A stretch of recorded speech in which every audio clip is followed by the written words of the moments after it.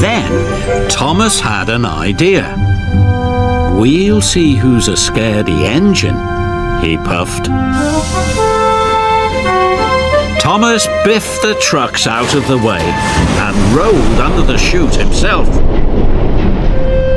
When Thomas puffed out the other side, he was covered from dome to buffer in pure white flour. Woo! He said spookily. It's the ghost engine, cried Diesel. It's come to get me. Stop, cried Thomas. It's just me. But Diesel was nowhere to be seen.